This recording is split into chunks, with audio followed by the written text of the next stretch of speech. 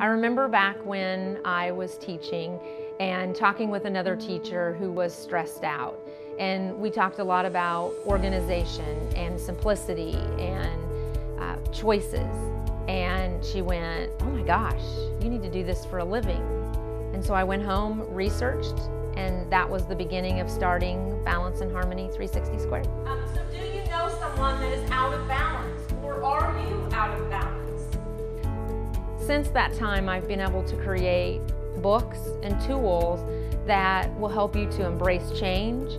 It will help you think about where you're at and where you want to go and how we're going to get you there. When someone calls and they're looking for my services, a lot of times they're at their breaking point. They are trying to be 120% CEO, they're trying to be 120% parent, they're trying to be 120% spouse, and all of a sudden they find that there's not enough hours in the day.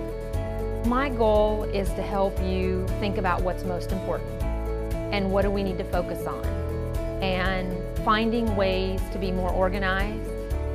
I created the complete guide for Balance and Harmony OWL Kit, workshops and retreats to help you slow down, to help you think about what do you really want in life to think about how productive you are at work, how happy you are at home.